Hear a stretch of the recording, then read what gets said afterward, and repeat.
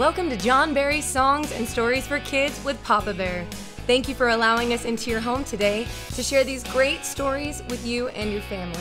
Please take a moment to share this with your friends on Facebook. Also, if you all happen to take any photos of your family enjoying and following along, we'd love to share them. Please send them to us on the John Barry Music Facebook page. Now, without further ado, here's Papa Berr.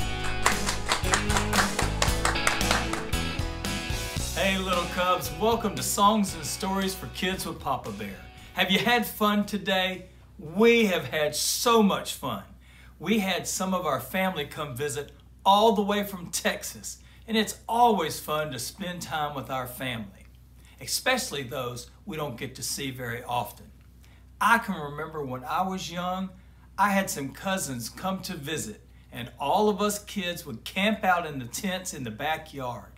It was so much fun.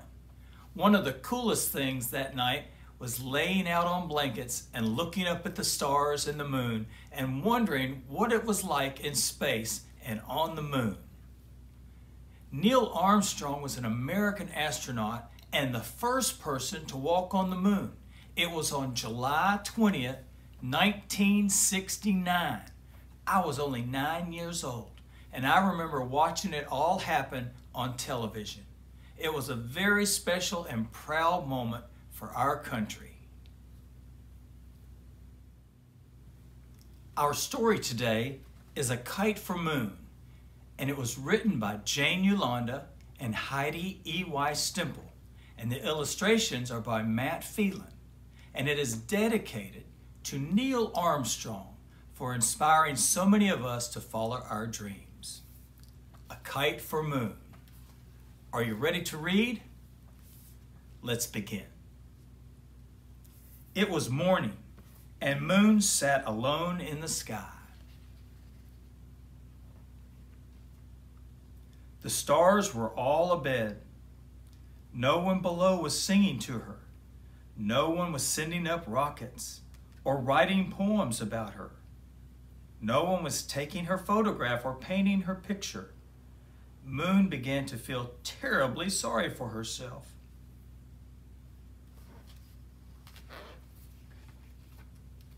Down below, a very small boy flying his kite on the beach near his house looked up at Moon.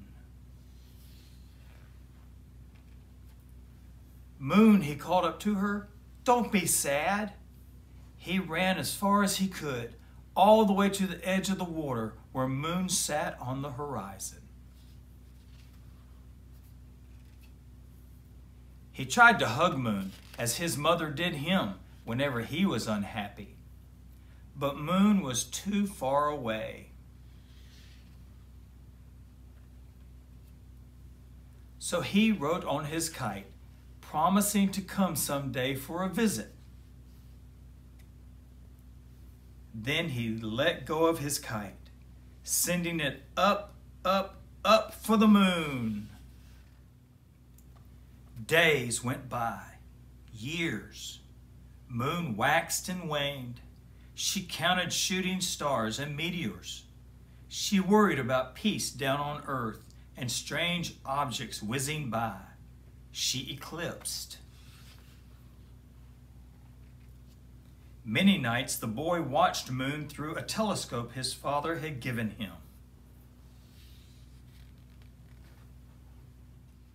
Many days he sent up a new kite for Moon. Red kites, blue kites, green kites, yellow. Some fell back to earth. Some disappeared into the sky. And Moon watched the boy grow. Every day the boy studied hard. He learned his large numbers and his small sums. He learned algebra and equations. He learned geometry and tried to square the circle. He learned all about the sky and the moon. He learned to ride a bicycle, drive a car, fly a plane, and a rocket. Then one day, when he had learned enough, he went up, up, up in a big rocket ship with a fiery tail. Hello, Moon, he said. I've come for that visit. And the whole world watched. The end.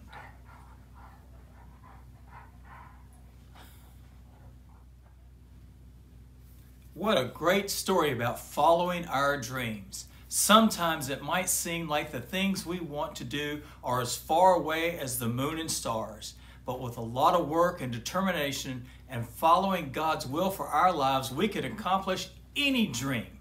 So let me encourage you to dream big.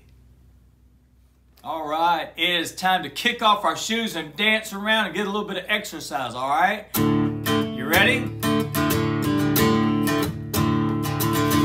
Back at my door. The one you walked out You made a mistake. You know that now. Will I let you in? You're begging me,